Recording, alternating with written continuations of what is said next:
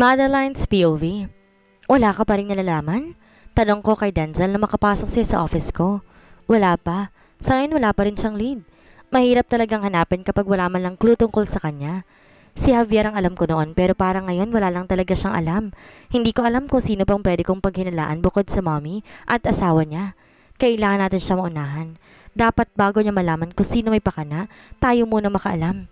Masusunod. Siya nga pala, hindi mo ba aalamin ang mga susunod niyang gagawin para sa kumpanya? Wala na akong pakialam doon. Mag-focus na lang tayo na hanapin ang mga kagagawan ng nangyari sa akin noon. Nawalan na siya ng mana pero ang malala sa anak ko naman mapupunta. Napahilot na lang ako sa noo ko. Dahil sa tuwing naalala ko ang bagay na yun, naiinis lang ako. Hindi nakakatuwa ang ginagawa ng chairman. Kung yan ang gusto mo, aalis na ako. Tinanguan ko na lang siya, tinayaan siyang lumabas. Kinuha ko naman ang mga papeles na kailangan kong ibigay sa fiancé department. Gusto nila akong bigyan ng sarili kong sekretarya, pero mas gusto ko yung ako na lamang gumagawa. Ayoko naman na maghapon lang ako nakakulong sa opisina ko. Good morning, ma'am. Bati nilang lahat sa akin na makapasok ako sa department nila. Ngumiti at tumango na lang ako sa kanila. Nag-abala pa kayo, ma'am. Pwede yun naman pong itawag na lang sa amin para kami nilang pumunta sa office ninyo. No, it's okay. Kailangan ko rin naman maglakad-lakad minsan. Thank you, ma'am. Tumango na lang ako, saka ako tumalikod. Siya ang turing na mahal, kaya hindi natin masisisi si Sir Javier kung naglolo ko siya sa asawa niya. Napalingon na lang ako sa mga kababayang nag-uusap ngayon. Hanggang ngayon pa rin pala, kami pa rin ang laman ng chismis. Hindi ko na lang pinakinggan pa mga pag-uusap nila at tuluyan na ako lumabas. Tango at ngiti lang ginagawad ko sa kanila kapag bumabati sila. Napadaing na lang ako na may bumangga sa akin. Pasensya na po kayo ma'am, hindi ko po sinasadya. Tinignan ko naman na nakabangga sa akin at alam ko, siya na naman yung lalaki. Noong nakaraang nakabangga ko rin. Napakunot na lang ano ako. Nasaktan po ba kayo? Okay lang po ba kayo? Tanong niya pero nanatiling nakatingin ako sa mga mata niya. Pero pilit niyang iniiwasan ang mga tingin ko. Pamilyar sa akin ang boses niya. Nagkita na ba tayo dati? Tanong ko sa kanya. Nakasuot kasi siya ng itim na face mask at nakasuot ng sombrero, kaya hindi ko makita ang kabuuan ng mukha niya. Opo, ma'am. Napatayo naman ako ng tuwid sa sinabi niya. Noong nakaraan po, nabangga ko ulit po kayo. Para naman akong pinagbagsakan ng langit at lupa. Sa ay sinagot niya. Oo nga naman, nakita kami. Nung mabangga niya na naman ako. Tinignan ko naman ang likod niya pero malawak naman yon kaya paano niya ako nababangga? Is it still a coincidence? Coincidence pa rin ba? Ang lawak kasi ng daanan. Ah, uh, pasensya na po kayo ma'am. Nililibot ko po kasi minsan ang paningin ko rito sa kumpanya kaya nabubunggo po ako kung saan saan. Bago ka rito? Opo, ako po kasi nakatoka na mag-deliver ng tubig dito. Ang laki po kasi kaya tinitignan ko. Napatango na lang ako sa kanya. Para kasing pamilyar talaga sa akin yung boses niya eh. Hindi ko alam kung kailan at saan ko yung narinig.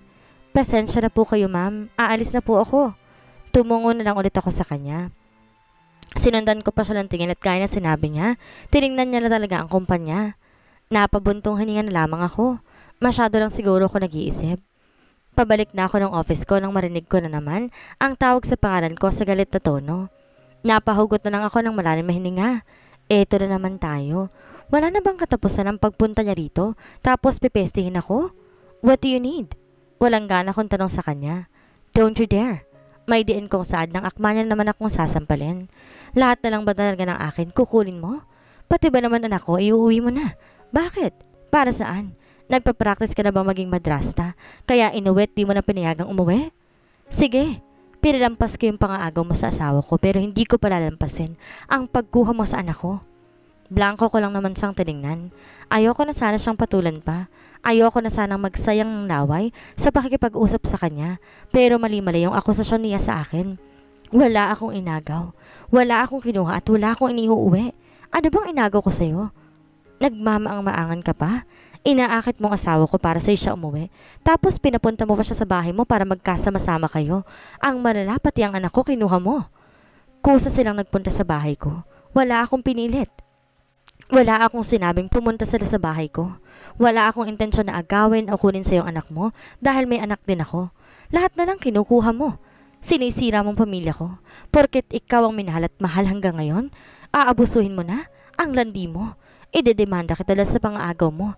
Kabit ka pa rin, tandaan mo yan. Masaya ka na? Nakuha mo na ng buo ang mana ng anak mo nang wala ka malang ginagawa. That's enough, Veronica.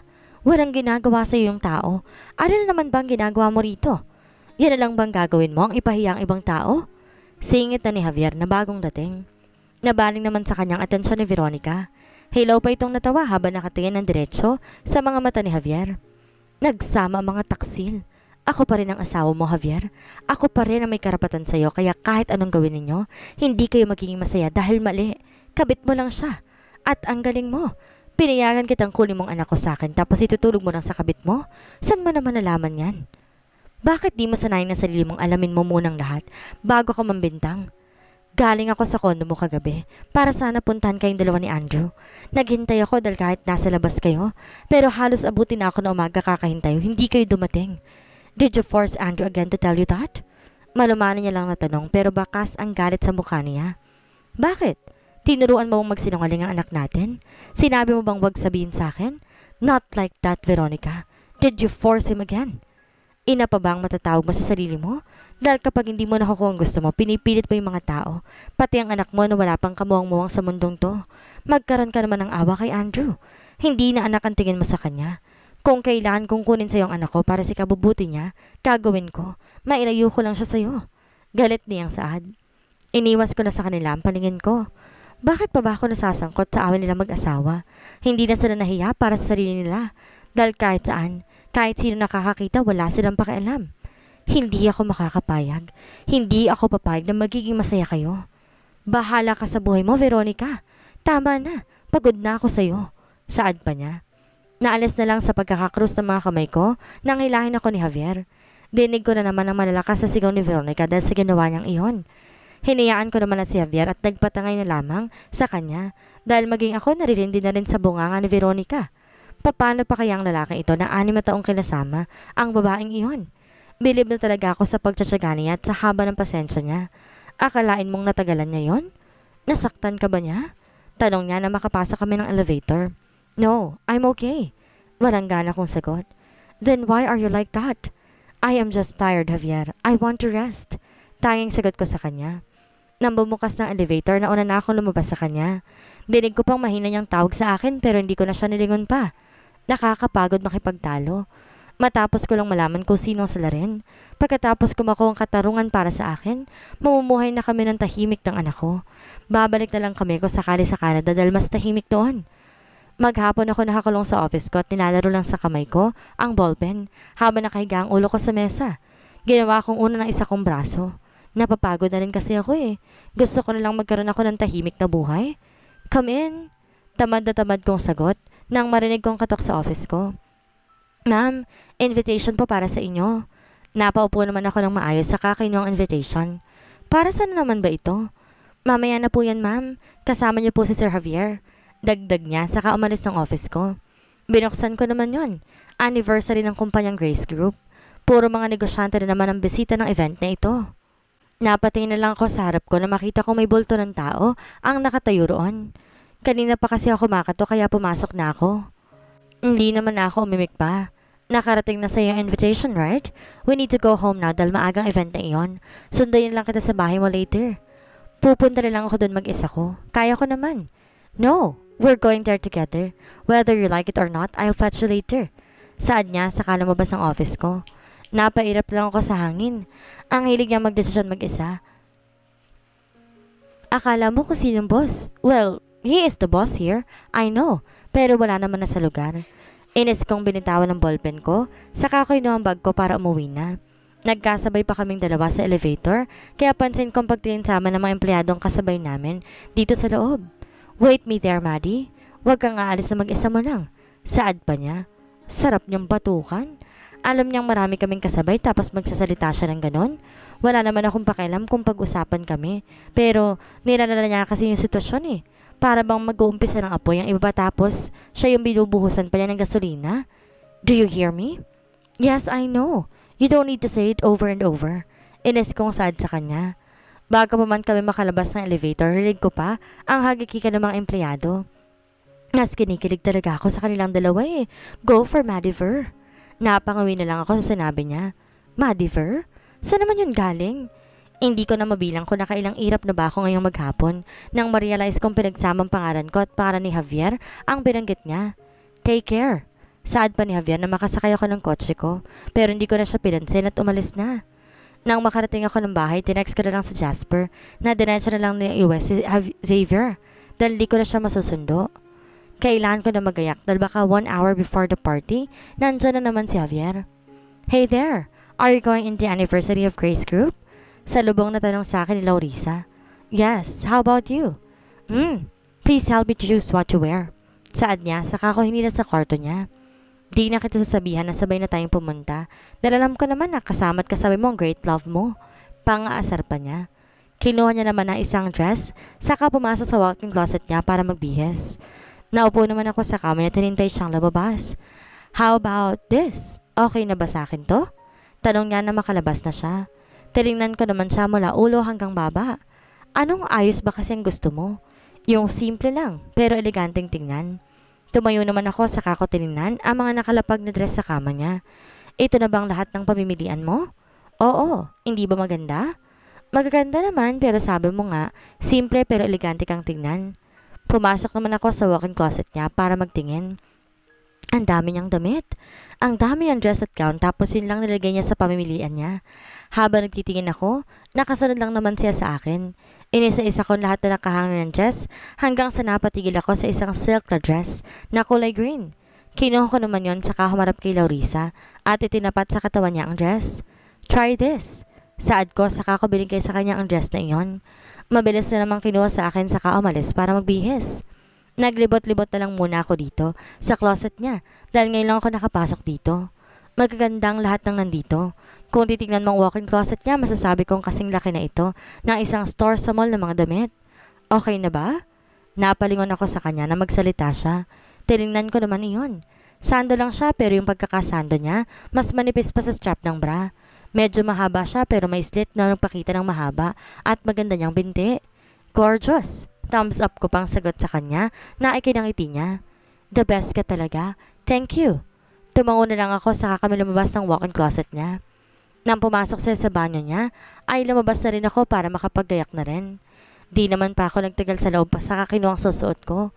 Halos pareho lang kami na isusuot ni Laurisa pero magkaiba ng kulay at design. Humarap na lang ako sa salamin sa kanagayos ng muka. Nang makababa ako, nakita ko na si Laurisa, nakaupo sa sofa. Mauna na ako sa'yo dear, kita na lang tayo doon. Take care. I will. Nauna naman na siyang lumabas.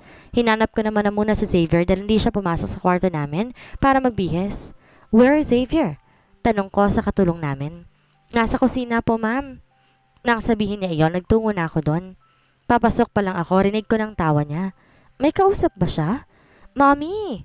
Sigaw niya nang makita niya ako. Nilipat ko naman ang paningin ko sa lalaking kaharap niya. Kanina ka pa po hinihintay ni Daddy. Anas niya. Lumapit na lang ako kay Xavier sa kasi hinalikan sa noo.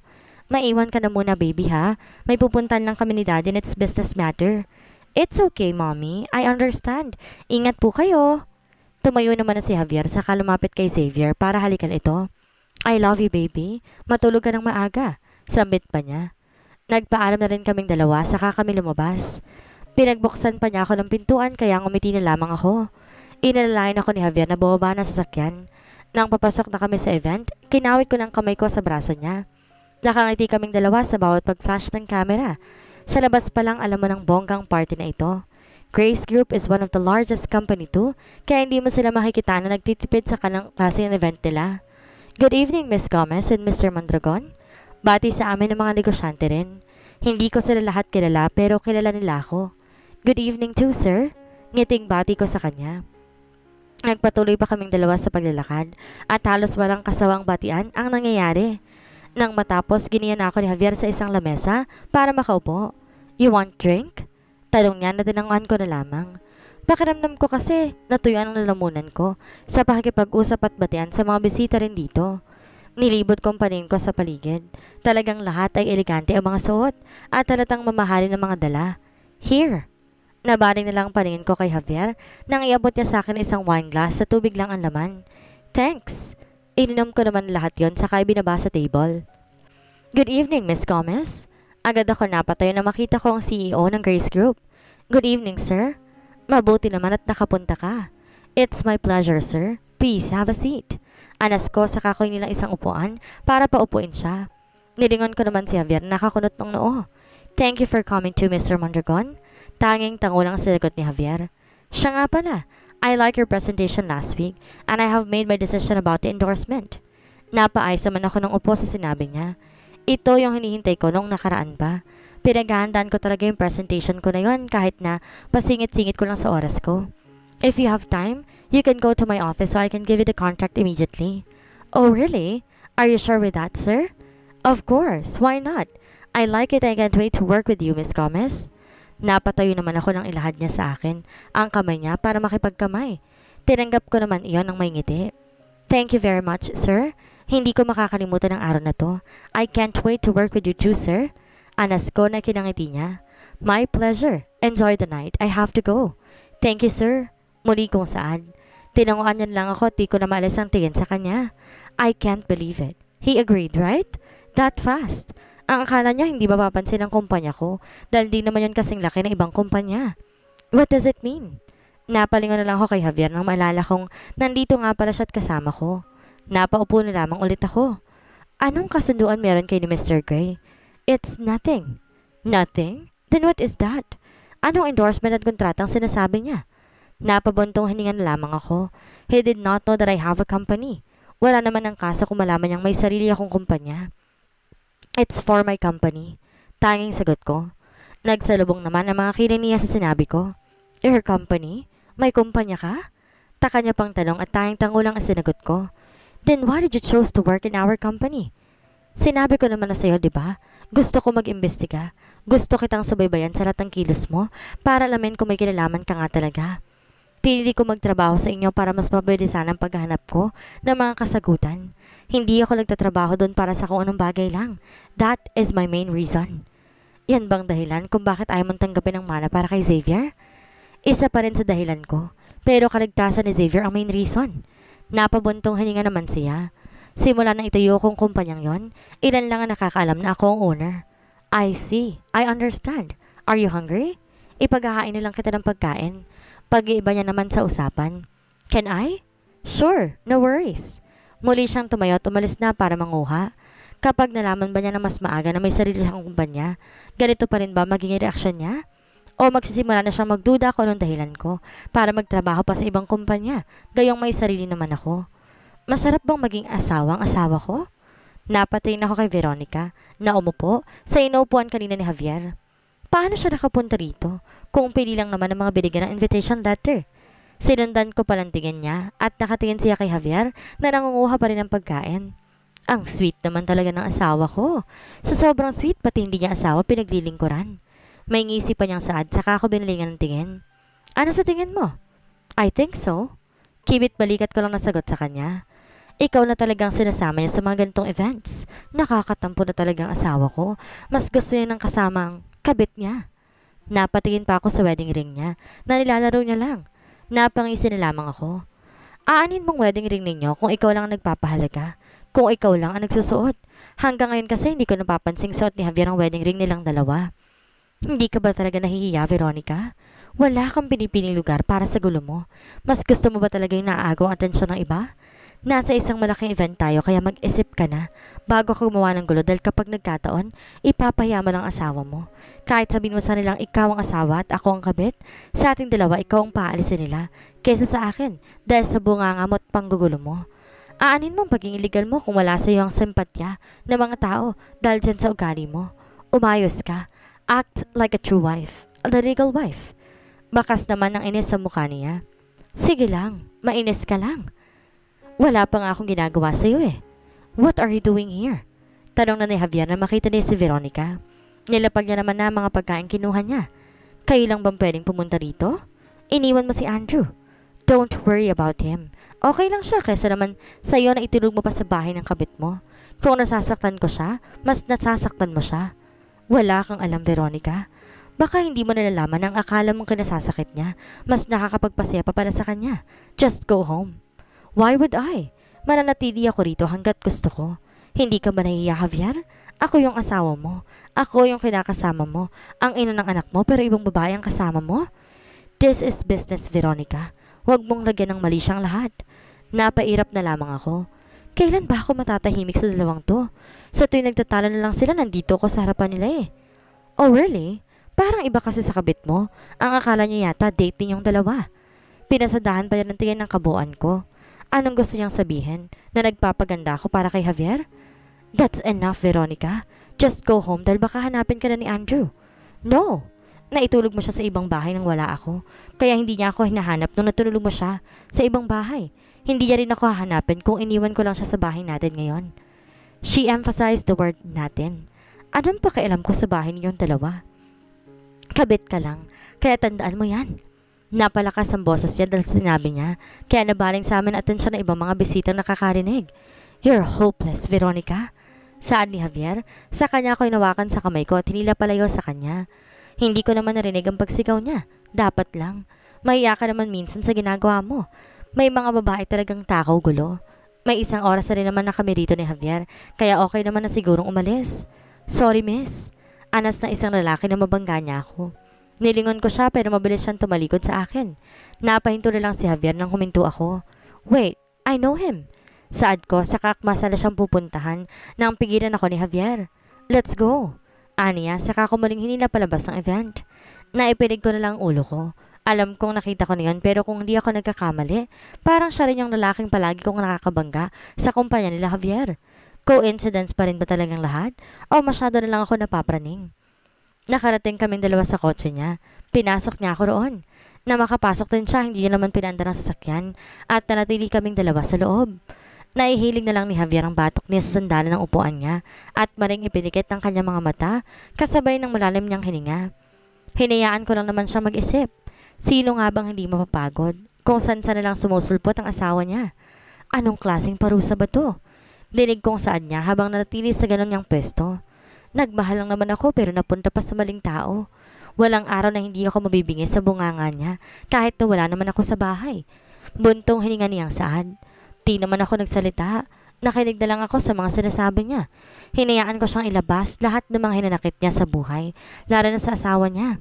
Hinawakan kong ulo niya at dahan-dahan ko yung pinahiga sa balikat ko. Kahit papaano, hindi ko maiwasang hindi maawa. Alam ko, gusto niya lang din na makakasama at mapaglalabas niya ng sama ng loob. If I can do that, then why not? Ito na ba talaga yung parusa kung hindi ka pinili? Huwag mong sabihin yan. Huwag mong isisi sa mga nangyari sa nakalipas sa nangyayari sa iyo sa kasalukuyan. Dahil ang lahat may dahilan. May dahilan kung bakit mo nararanasan yan. Mas pagtibay mo ng loob mo. Yun na lang ang tayo magagawa mo ngayon. Ito ang pinili mo kaya panindigan mo. Saad ko. Hindi naman siya umimik. Namatawi ang katahimikan dito sa loob ng kotse niya. Kanina pa kami nakalabas pero hanggang ngayon, nandito pa rin kami sa labas ng event. Hindi ko alam kung anong pinagdadaanan pa niya, kung ano ang laman ng isipan niya. Pero alam ko nahihirapan na rin siya, na napapagod na rin siya. Nang makalipas na ilang minuto, bumangon na siya. Sa kanya pinandar ang sasakyan. Maaga pa tayo bukas. Pasensya ka na. It's okay. Sagot ko. Tuloy na ang pinandar ang sasakyan niya at binaling ko na lang ang atensyon ko sa labas. Nanlakin lang ang mata ko na makita ko yung lalaking nakabunggo ko kanina. He is very familiar. Malayo siya dahil nandun siya sa labas at parang diretso nakatingin dito sa sakyan ni Javier. Magsasalita pa sana ako pero hindi ko na tinuloy dahil wala namang alam si Javier. Sasasabihin ko, napakulot na lang ano ako. Nandun si Veronica at nandun din yung lalaking iyon. Sinong ipinunta niya sa lugar na yon? Napayakap na lang ako sa sarili ko. Ewan ko pero nakaramdam ako ng takot dahil alam kong hindi coincidence ang pagbabanggaan namin dalawa. Hindi rin coincidence na doon siya nag-deliver ng mga tubig. Kumikilos na sila. Alam ko, kumikilos na sila dahil sinusubayba nila ang bawat galaw ko. Kailangan ko silang maunahan. Hindi dapat ako matatalo sa laban na ito. Minsan na nga nilang pinagtangka ng buhay ko at di na ako makakapayag pa sa pangalawang pagkakataon. We're here. Ago atensyong saan ni Javier. Tinignan ko naman ang paligid at andito na pala kami sa tapat ng bahay ko. Hindi ko na namalayan dahil sa lalim mga iniisip ko. Sa konto mo ba ikaw uuwi? Hmm, mag-iingat ka kung ganon. Saad ko. Lalabas na sana ako nang pigilan pa ako ni Javier, kaya nalingon ko siya. May sasabihin ka pa ba? Wala naman. I just want to say good night. Saad niya. Napapikit na lang ako nang halikan niya ako sa noo. Kung sakali bang gusto ko makumpletong pamilya natin, papayagan mo. Mahirap ang hinihiling mo, Javier. Alam mong komplikado. Then I will find a way. Good night. Sambit niya, saka inliyo na sa akin ang mukha niya. Hindi na ako umimik at tuloy na lumabas ng sasakyan niya. Hindi ko na siya nilingon at pumasok na ako ng bahay ko. Gusto pala niya kompletong pamilya. Pero bakit niya ayusan ang pamilya niya kay Victor Veronica? Mga Mondragon nga naman. Sobrang gulo ng pag-iisip. Mas gusto yata nila yung mga nasa komplikado. Nang makapasok ako sa kwarto, nagbihis na ako. Hindi ko pala napansin si Laurisa doon sa sobrang daming tao. Malamang nandun pa yun hanggang ngayon. Inayos ko naman ang kumot ni Xavier saka hinalikan sa noot na tulog. Kinabukasan, naglalakad ako ngayon papasok ng opisina dahil galing ako sa isang office shop para bumili ng kape. Napahigpit na lang pagkakahawak ko sa hawak kong kape dahil ramdam ko ang mga lalaking nakasunod sa akin. Hindi dapat ako nagpapahalata na alam kong may nakasunod sa akin. Medyo marami pang tao sa nilalakaran ko ngayon kaya hindi sila makaporma. Sinipa ako na lamang ang batong nadaanan ko at nagpanggap na may tinitingnan sa likod ko. Mabilis naman silang tumakbo at nagtago.